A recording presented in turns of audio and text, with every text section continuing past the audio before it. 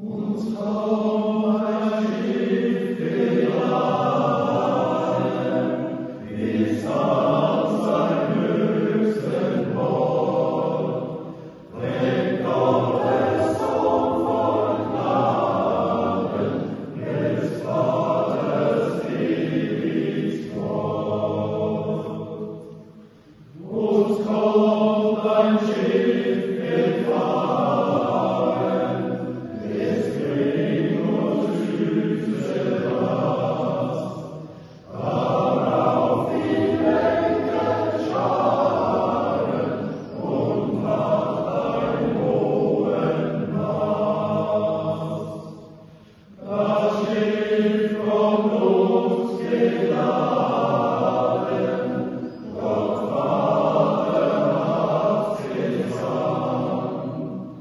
His reign goes home.